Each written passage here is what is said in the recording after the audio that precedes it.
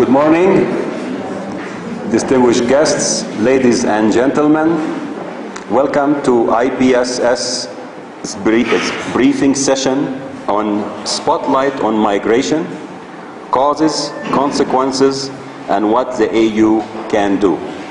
My name is Amr Abdallah. I am the Senior Advisor on Policy Analysis and Research at IPSS, and I am honored to receive today our distinguished speakers and moderator to uh, run this very important briefing session. We hope that this will be a first in a series of such sessions that we will run throughout the year. And we welcome all of you here. We are very honored today to have with us our speakers, Dr. Mehari Taddele Maru, former migration manager of the AU Commission, and Mr. Philip Bob Jusu, Migration Manager, Department of Social Affairs of the African Union Commission. They will be delivering the keynotes and they will take your questions and answers in the, in the discussion session. And the entire session will be moderated by our distinguished moderator, Ms. Tsedale Lemma, the editor-in-chief of Addis Standard. We welcome all of you here, and I invite Ms. Lemma to come to the podium. Thank you.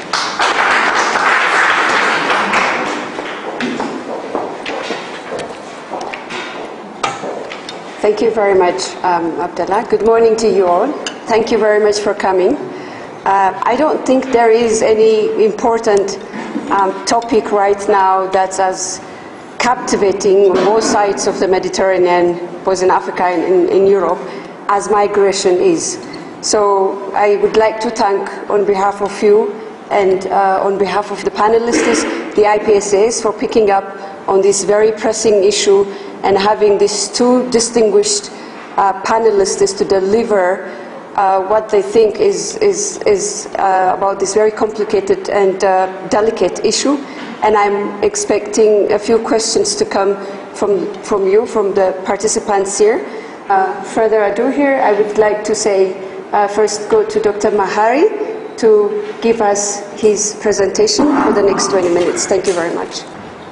Good morning to all of you. Um, I would like to thank Tsedale for the kind introductions and also I would like to join her in uh, appreciating IPSS for picking this topic and also uh, requesting me to, uh, to contribute to this discussion at this event, uh, IPSS in general. And um, uh, I'm also very happy that Tsedale said uh, emphasize on the current program manager who is Philip, so the hard questions will go to him. I'm former, so that, that's an important distinction to be made. But uh, what I will try to do is an introduction for the hard work that you, Philip will be uh, performing today. I just wanted to give you a conceptualization in general that will help uh, frame our discussion on um, what I do and specifically which the recent engagement I had with IGAD on migration policies, uh, migration related policies that uh, has been developed. So I will discuss a little bit on uh, what do we mean by migration and how that is uh, uh, also related to displacement and mobility. Uh, what are the determinants and uh, the frequency, nature, and trend of migration in and from Africa.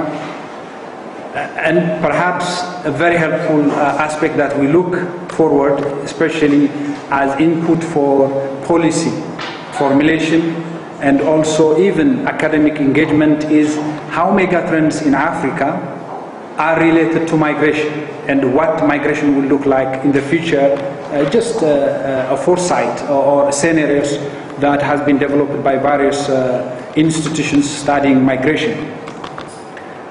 And also the challenges, concerns, and opportunities related to migration, uh, which I think uh, Philip will be dealing more in, in depth uh, when it comes to uh, the challenges the African Union and perhaps to some degree the regional economic communities and member states are facing.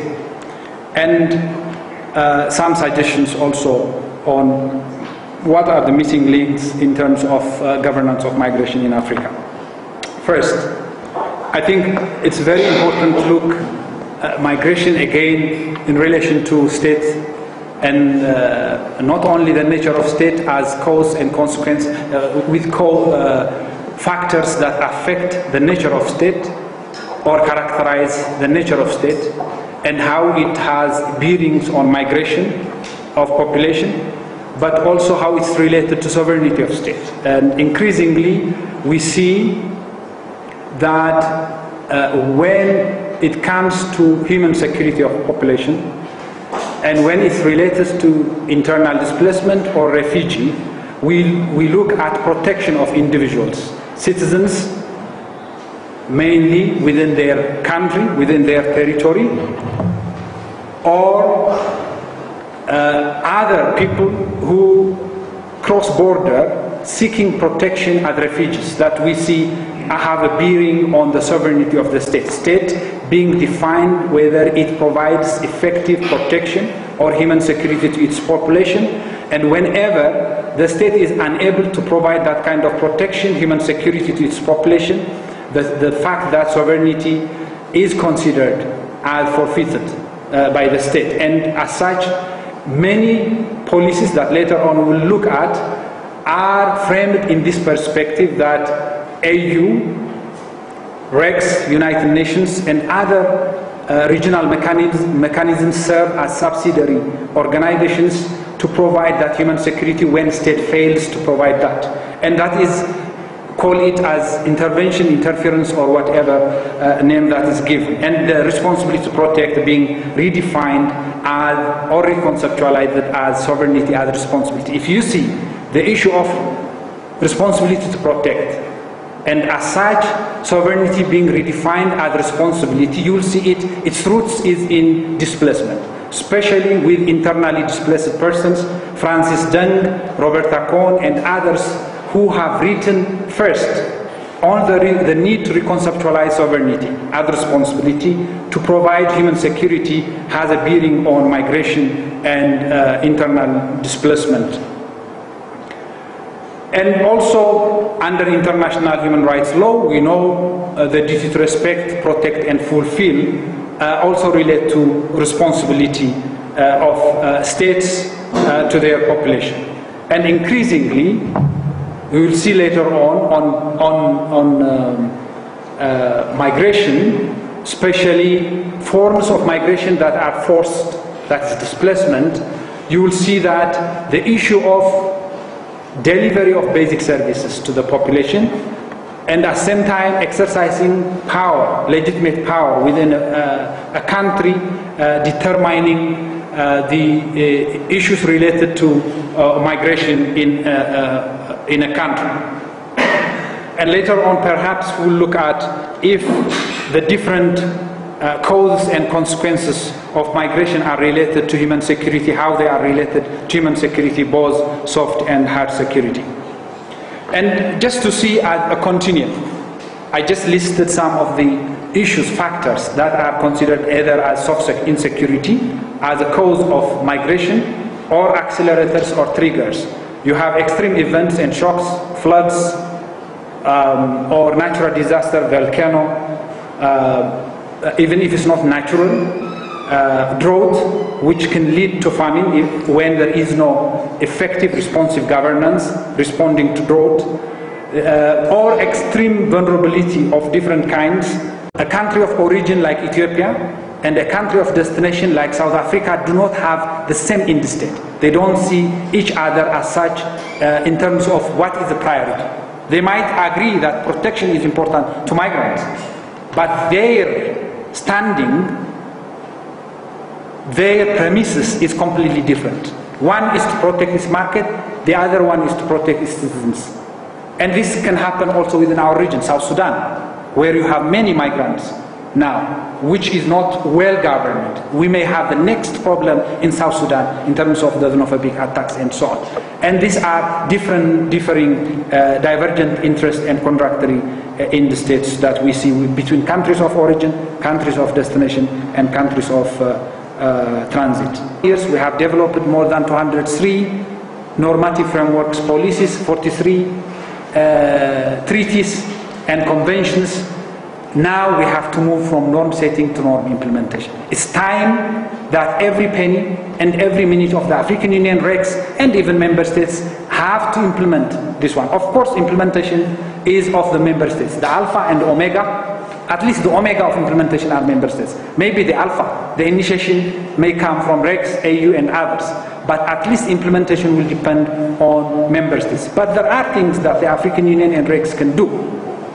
We have to take these policies down to the member states where they pledge something in Addis Ababa but they don't implement, they forget it when they leave Bole airport. They have to, to take these pledges actually to the ground to their people. The way of to do that one is to select few countries, the highest countries of origin, and perhaps the highest countries of origin every year, uh, a destination, and go there to look where are we in implementing these policies that you have adopted in Addis Ababa, in their capital, not bringing them to Addis Ababa, but the AU has to go to uh, the member states. Philip has to go to the African, to the member states. We have been trying to do that. We have gone at least to the RECs at the norm diffusion. Between norm setting and norm implementation, we have to have norm diffusion, and we have been trying to do that one with the RECs to diffuse these norms, but ultimately the battleground, the decisive battleground will be the capitals and the member states. Second is the building for capabilities in terms of policy response. If possible, we have to build predictive capability on mobility of people, generally, displacement and mobility, migration in general. Responsive capability is much better than, in my opinion, than predictive and preventive capability in most of members, member states, at least in the countries of, uh, in the countries of origin. So we have to address also that uh, the responsive capability of member states when migrants are stranded, they are held in prisons, or they uh, face dangers that they have to, there should be capability to respond effectively, at least at member states, if possible also at RECs and AU level. Of course, adaptive capabilities to situations, especially with climate change induced displacement. We have to have adaptive capabilities. We have to have programs that allow not spontaneous migration, which may lead to different kind of ills in society, but also but more planned uh, programs that can help ad the adaptive capability of the society. One aspect is, like we said, cross-border informal trade and movements, which already pastoralist communities are doing it. But we can encourage this kind of arrangement where as adaptive capability uh, sustainable development on the continent, then there is the need for people to move. Regional integration cannot be sustainable without movement of people. You cannot allow goods to move and leave people behind. Hence, movement, free movement of persons, was the backbone of the African economic integration in 1999. Our role as the African Union Commission is to provide guidance to member states. Because of the importance of migration to the African Union Commission, we have come up with a number of frameworks as well as policy instruments. And I would like to name them for you. We have the Migration Policy Framework for Africa, 2006. 2006 was a very important year for migration when it comes to the AU because it was in 2006 that that document came out. The history of that document, of that instrument is very much dodgy because it took a number of years for member states to agree on this document. I'm sure the reason for that was our member states do not want this document to be binding on them, which is one of the weaknesses of the African Union Commission. But that's something we'll talk about later. We have the African Common Position on Migration and Development. That decision was taken before the AU and the AU met. The reason why I'm giving this background is because I have this idea that it is only the European Union that is dealing with migration. It is only the European Union that is talking about migration. It is only the European Union that takes the issue of migration seriously. And I want to say here, the African Union had preceded the European Union when it comes to handling issues of migration. The first time the AU and the EU met to discuss issues of migration was in 2006, prior to the meeting in Lisbon, where they came out with the, the AU um, the AU-EU Declaration on Migration and Development. Then we have the AU frameworks on refugees, returnees, and IDPs, known as the Kampala Convention, it's non-binding on them. They spend thousands of dollars, come to Addis Ababa, sleep in decent hotels, eat good food, take decision, go back home, and like Dr. Mehari said, leave it at the airport. What are we going to do? Voluntary nature of AU membership, I already talked about that. Population explosion. Dr. Mehari talked about that, but I would love to touch on that a little. This is very important because I remember when we were in Khartoum, the Italian foreign minister said something which was very striking. He said, migration is about numbers. Numbers. Numbers. By 1950s, 60s, the population of Europe was almost twice the population of Africa. Today, the population of Africa is almost twice the population of Europe.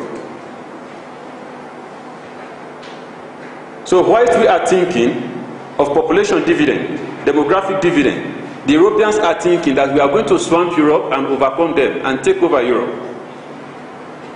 As a result, people have made political decisions, people have made political careers out of the issue of migration.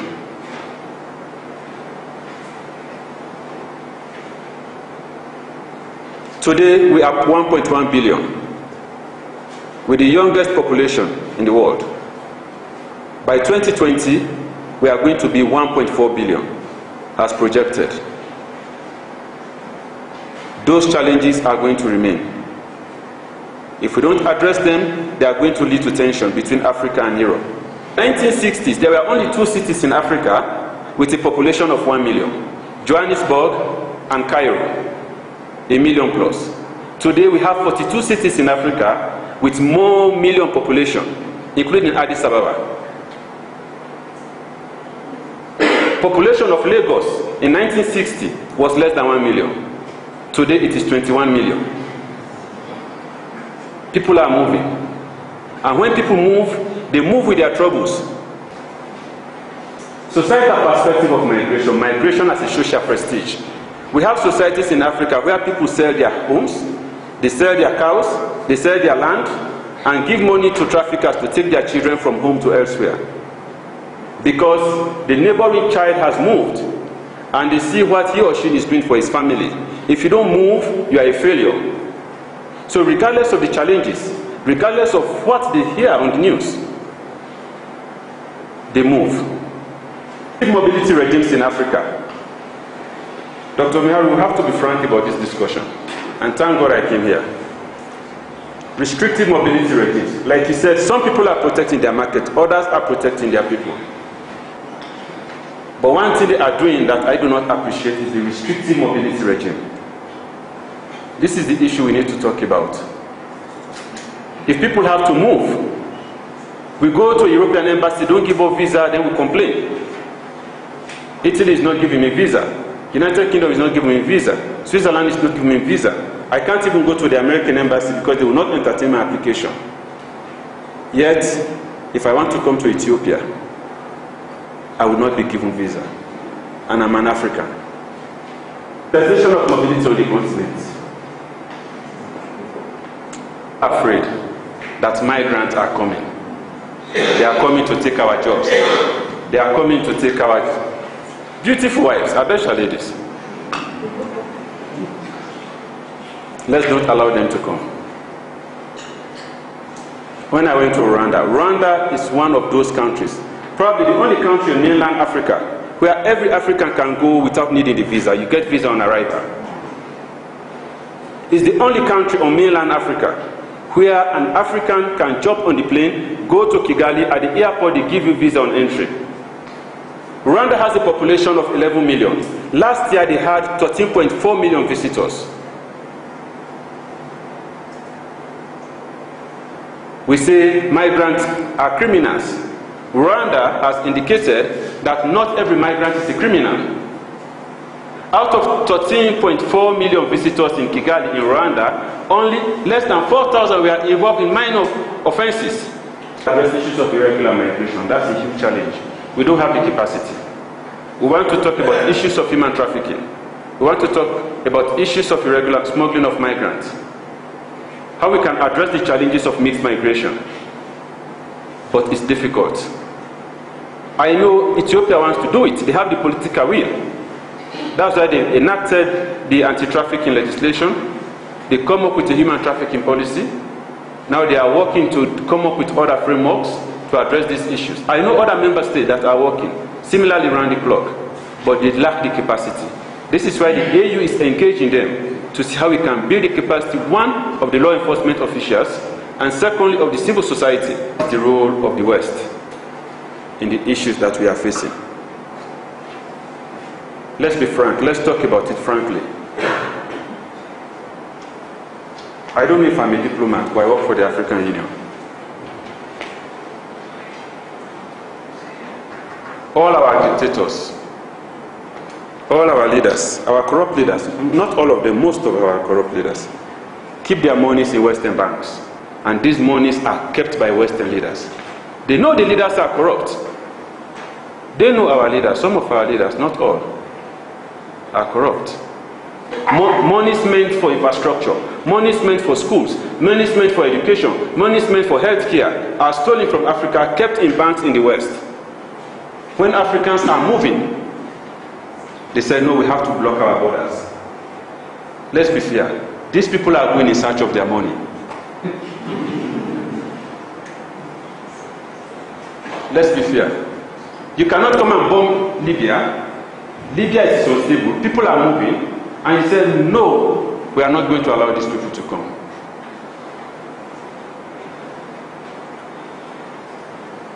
Where is justice?